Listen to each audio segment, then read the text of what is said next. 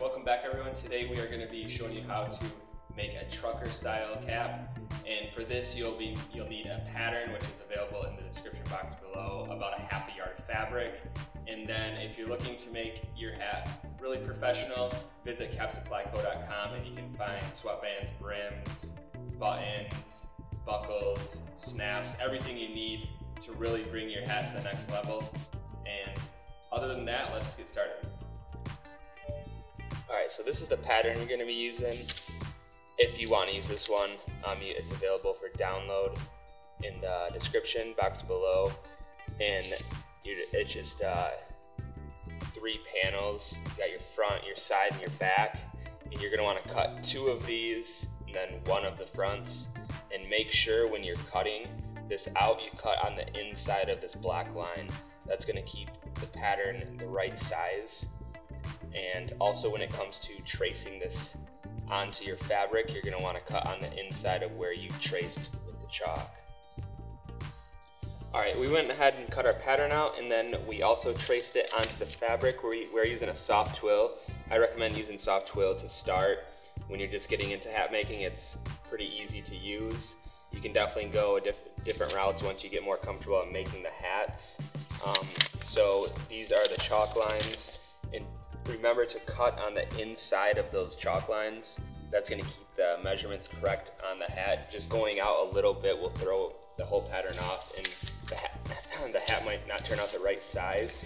And just be very cautious about that because if the pattern is not turning out for you, that it's more than likely it comes down to the cutting and the seam allowance when you're sewing it. And those get pay close attention to.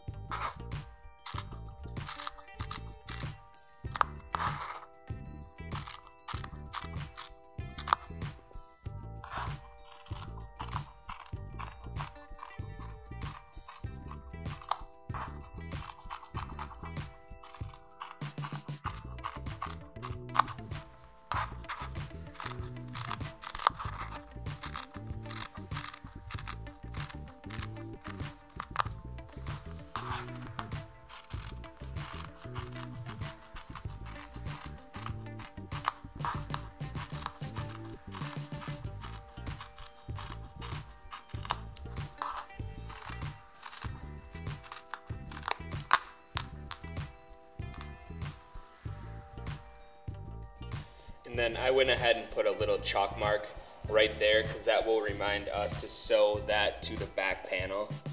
And because they look pretty similar, but there is just a little bit of difference there when it comes down to sewing it. And you can do what you want, either chalk mark or just remember. And we used, you can get about a half a yard to start. And that's about it for fabric. You can you can get as much as you want, but you, you probably only need to start with about a half a yard. And yeah. All right, to start, you're gonna wanna switch your thread to whatever um, color you're using for your hat.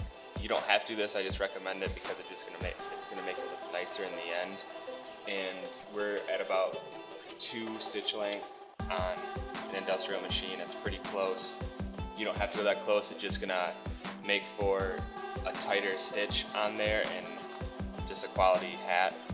And then to start, you're gonna take your front panel and put the right sides together just at the top of top uh, seam right there. And you're gonna wanna do about a quarter inch seam allowance with it, which is right up to pretty much the presser foot right there you're just gonna sew straight down all the way through and you're gonna go past a little bit.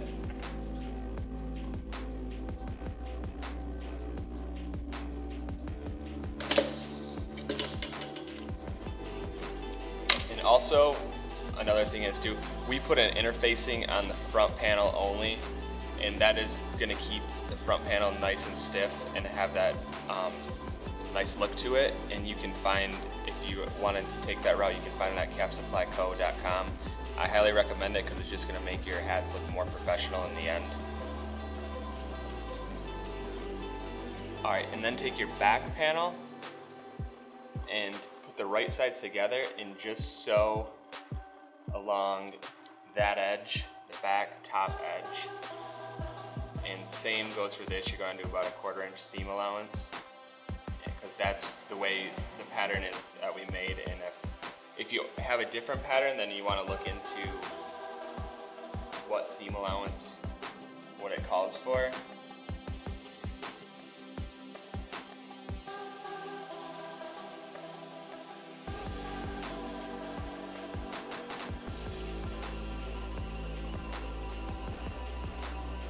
That's what it's going to look like for the first step. And this is the order that sewed it. We sew the front and the back because when you're gonna put your uh, top stitching, when you're doing your top stitching and covering up your bottom seam, you have to do those ones first and then you can just sew the rest of the hat together.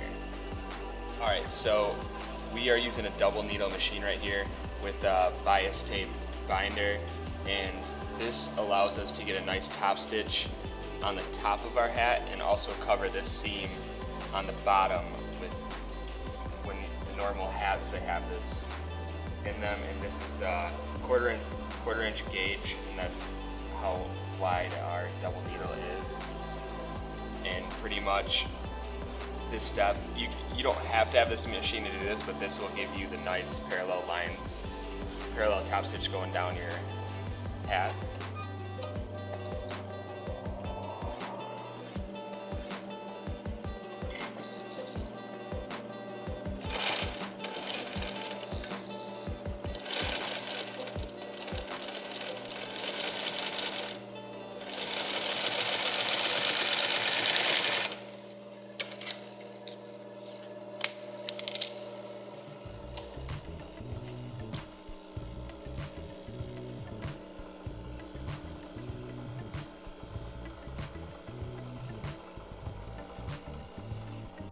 Alright, so now we're going to be covering up this inside edge here and we're using a double fold bias binder, bias tape binder, and we're using black bias tape that we cut out to match our interfacing, which is black. You can use whatever color you want.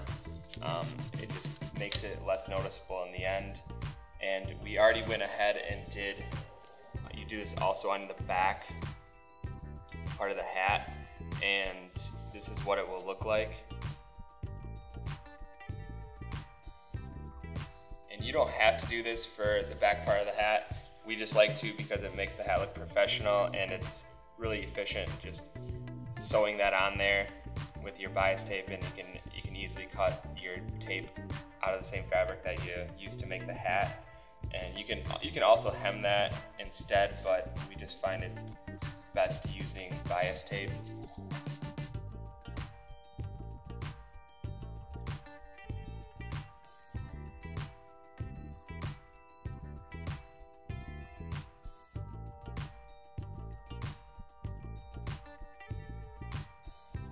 this next step, we are going to top stitch this, the front panel, and I recommend getting a presser foot that has, that's used for top stitching. It just makes it a lot easier and it will, it will give you a nice straight line going down the front.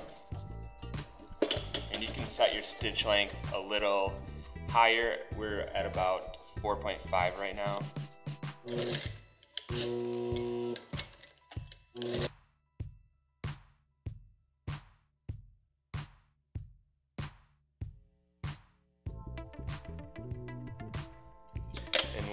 That is done, it's gonna look, the front will look like that and it'll poke out really nice.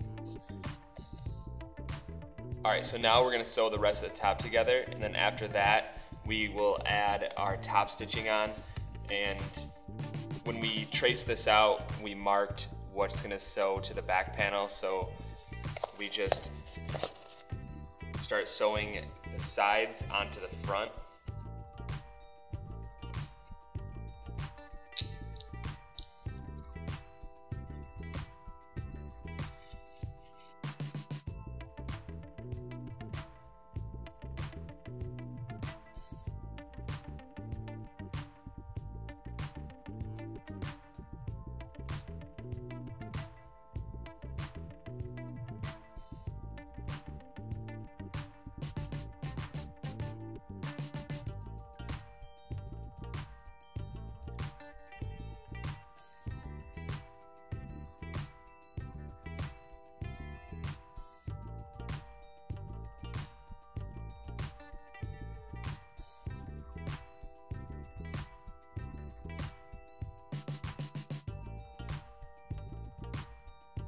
All right, we're just gonna trim this extra little part off here and that's just gonna make it easier when we're top stitching.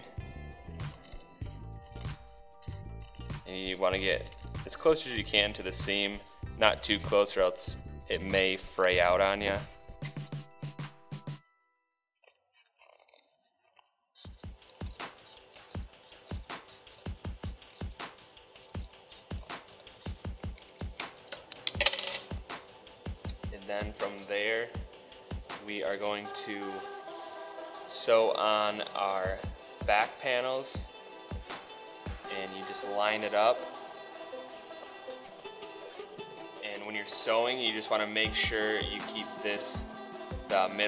Centered and keep an eye on that when you're sewing through because if you're using just a single stitch sewing machine it's not going to be walking that fabric along. So it may start to like what that bottom might just start pull through, pull th pulling through a little bit faster. So just make sure that you're um, aware of that and keeping that centered. You might have to pull the top a little bit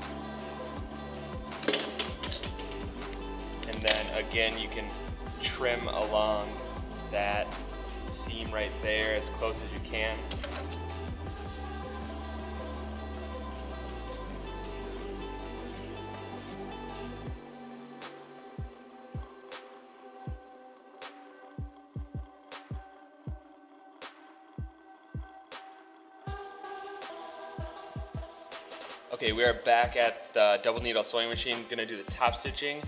And once again, this is um, our folder here with the bias tape. And it folds it down to about a half an inch. And that works really great with our quarter inch gauge. So, I mean, you can, you can play around with that to see what works best for you and what you like. But now we're just going to top stitch all the way across and it's gonna be just like an X. We're gonna go from the front to the back panel and then we're gonna cut it and then go the same way but the other side from the front to the back and it just makes it a lot easier because you're doing a straight line and you're not turning corners and it just makes the hat on the inside when you're done look a lot more professional.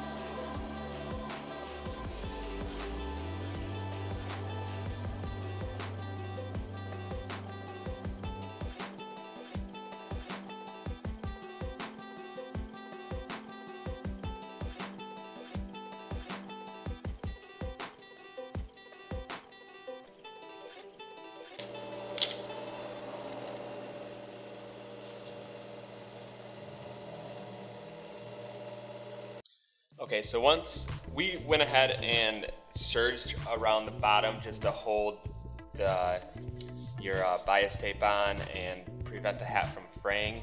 If you don't have a serger, you can use a zigzag stitch and that should hold your bottoms together.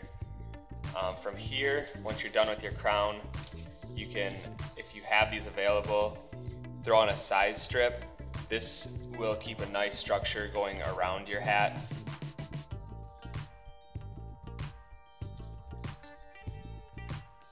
and you sew it on the inside going all the way around the bottom.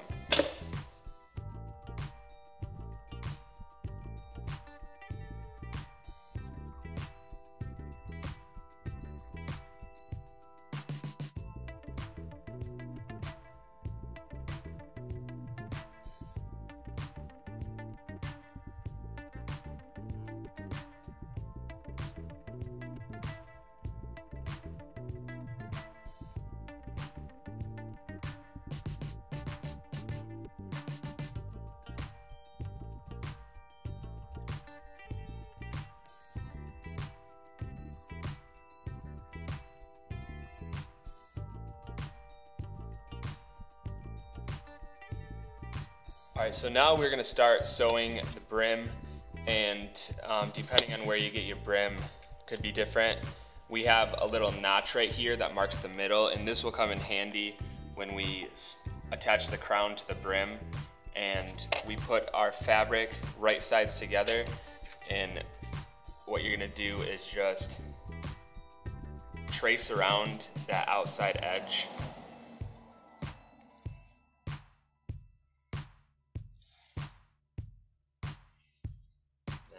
go down you're gonna wanna extend it down just a little bit to give yourself some room and you can cut this off later once you already attached your brim to the crown. So you just put it at a smaller stitch so your machine will go a little bit slower or if you want to go fast you can do that too.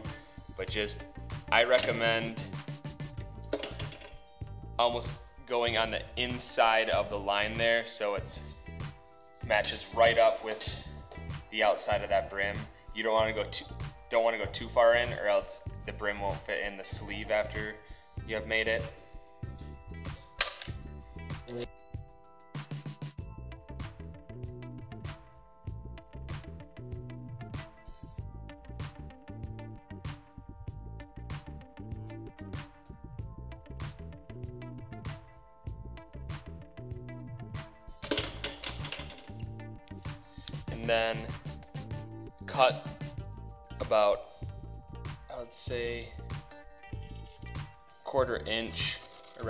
outside.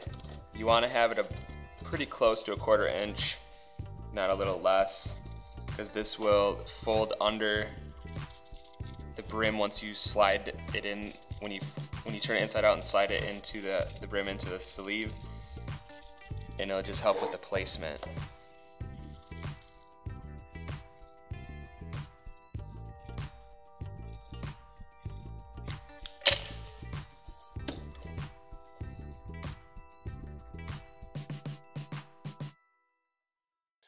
So at this point we went ahead and turned the sleeve inside out, put our brim in there, and we pushed it all the way to the edge and you can, you just wanna get in there really tight and then you're ready for uh, top stitching.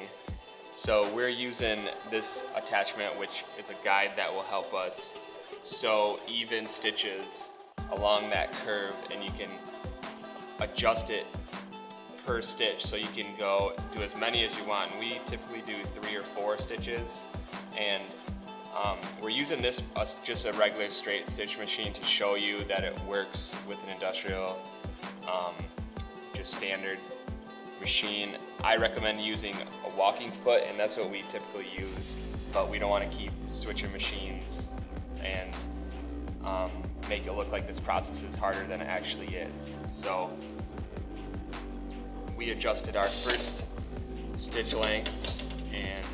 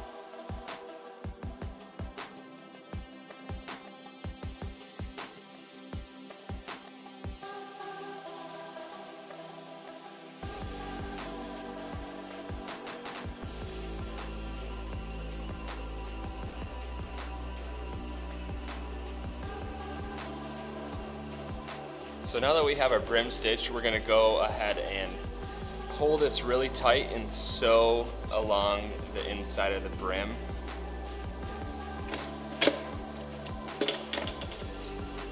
And this just tightens everything up and makes your brim look nice and not loose.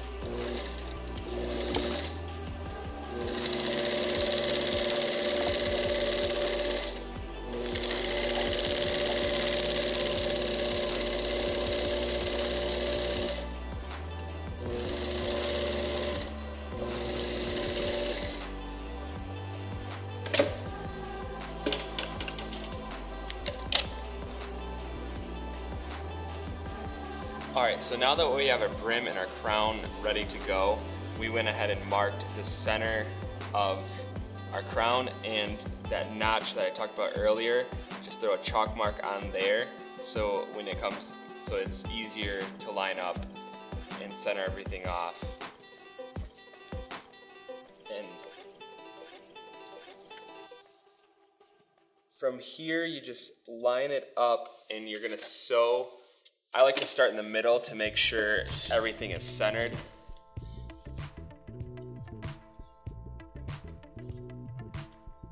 And then just sew that first half and get as close as you can. Just push the brim up against and then work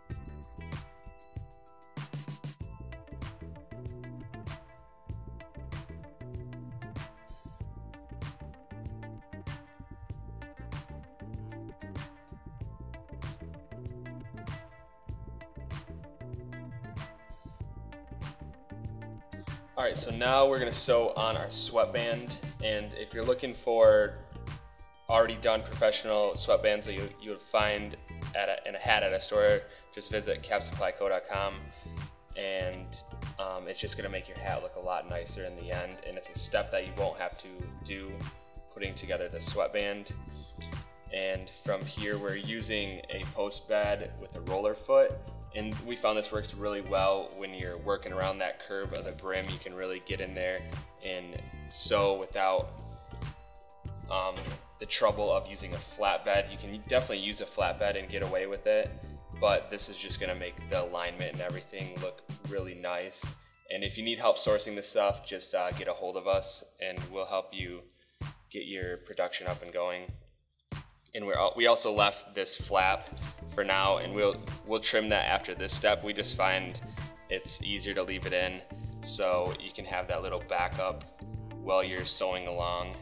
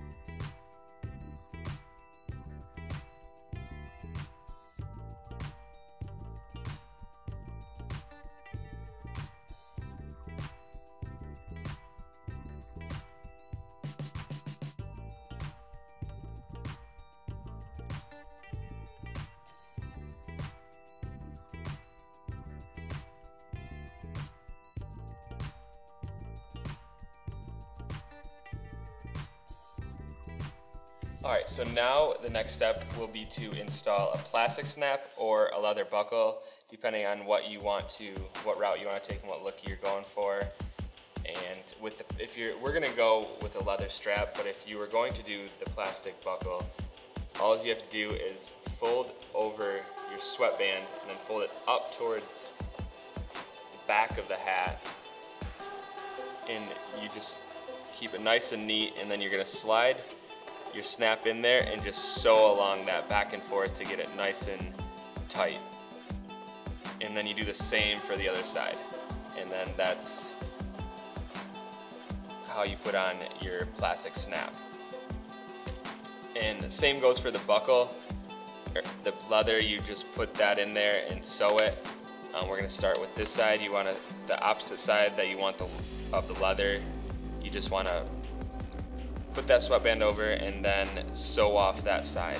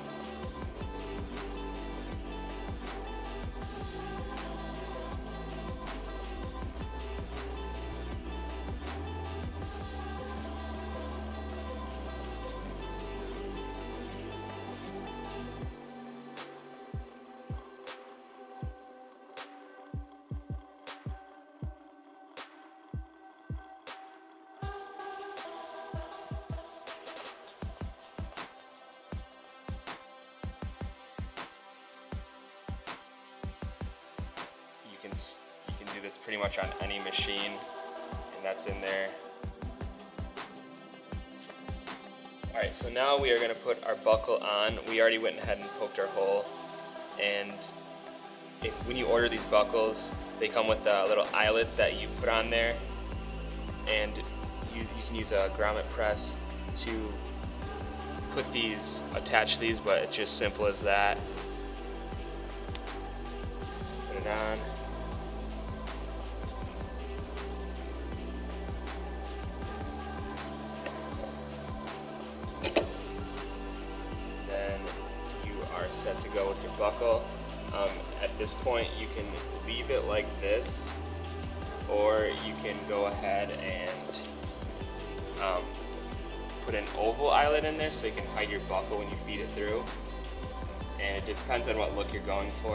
We're gonna go ahead and throw this eyelet on to show you how to do it. And with these, you can get dies as well, but we don't have them right now.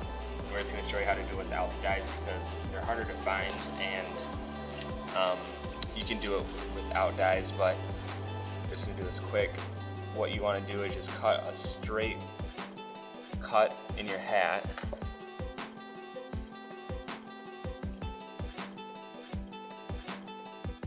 Enough that you can feed this through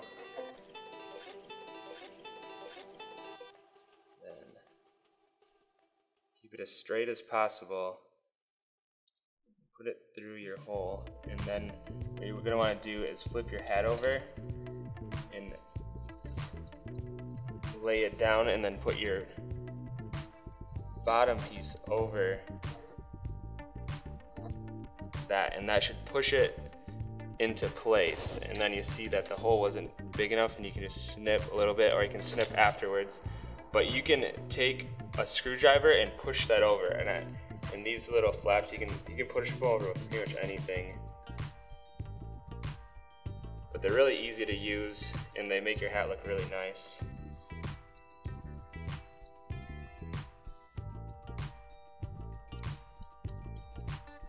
And this can all be cleaned up afterwards. There's, you just don't want to cut the hole too big so that you miss fabric and then it it just uh, falls out. As long as you cut a little bit smaller and then trim later, you know that it's gonna be, it's gonna have grabbed it nice. All right, so now you can kind of see the shape of the hat and we went ahead and marked where we want our holes in the top to put our vents. And yeah, we're, we're using vents. Um, you can find, find something to use, um, get creative with it, figure out kind of what you wanna do for those and um, we're going to show you how to install these. So the spots you marked, just going to cut little holes. If you, if you have a punch, that will work a lot better. We're just going to show you this way, bare bones.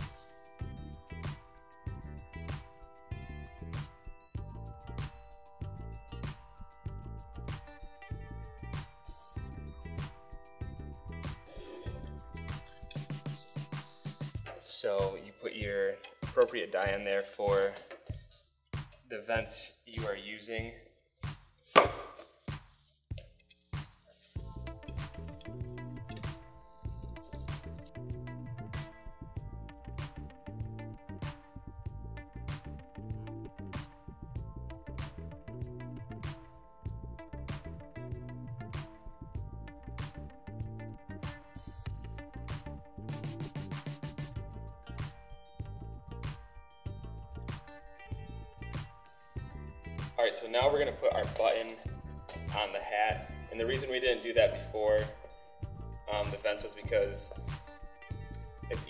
Measure from the center out, um, depending on how you're installing or what, if you're even using vents. Um, some production lines, you'll see that they even just sew the holes in before they even start putting the hat together. And it depends on what, what stage of production you are doing. So you're gonna wanna take your cutout circle and fold it into the center. And for this, we're just showing you it by hand so that you know it, it can be done without any of the proper tools.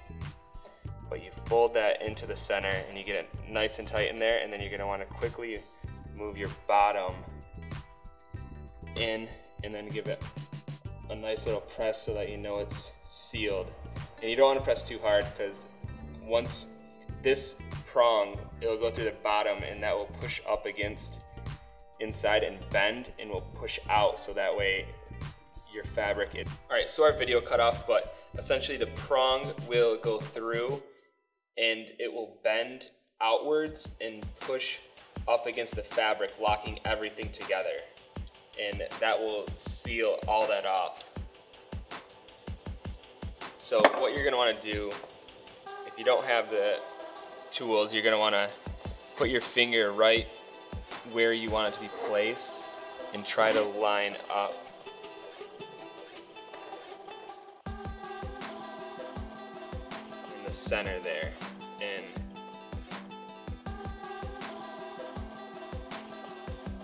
I always grab a piece of leather, something soft, so that when you pound this through, it's not gonna bend that prong.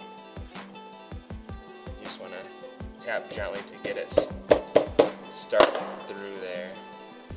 If, since you can see those prongs poking out, so once you have it pounded through a little bit so you can just see those prongs, then you're gonna wanna put your button on top of there and kind of wiggle it around so that those fall into a groove. And I recommend putting something over it that like leather or anything. And then you can take your hammer and just pound that into place and it should lock right in there. And that's how you do it without a grommet press or the right, or the dies or anything. But I, if you're gonna be doing this a lot, I highly re recommend looking into um, dies for a grommet press because it just makes it a lot easier. But it's it's very doable without it, and you can make a nice looking hat. All right, so now this step I find is very important. Um, you can do this or not. It's just gonna make it'll make your sweatband on the inside seal really nice, and it'll make the overall structure kind of form together. Um, we're gonna we're just steaming it, and um, you can actually use a steamer that's on an iron too. But this just kind of makes everything come together and look really clean after you get all of it sewn.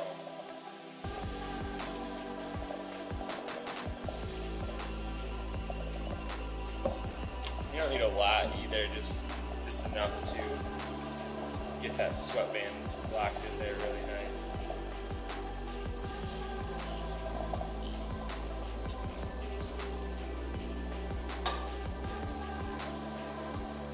Alright, so there you have it. That's how you make a trucker cap. And if you followed these instructions correctly and if you used our pattern, this is what you'll come out with. Um, based on your pattern, pretty close to this anyways. And if you start making these and you really like how they look and you want to sell them on a marketplace, capsupplyco.com is offering a uh, new hat marketplace for the person that is making them from home or starting a company. It's a good spot to go and check out other people's hats and buy stuff that you won't find in the store, and new ideas are always coming on there, new companies are coming on there, and it's just a cool marketplace that there's a lot of hat makers are, are starting to register right now for that. Um, yeah, check it out, and don't forget to like, subscribe, comment. Let us know what you think, if we need to change up parts in the video. And um, also follow our Instagram account. Um, that's just Proper Fit Clothing. And to keep up to, up to date with what we're doing, we're design, what we're designing, clothes, hats, anything, um, new videos coming out. And other than that, thanks for watching and stay tuned.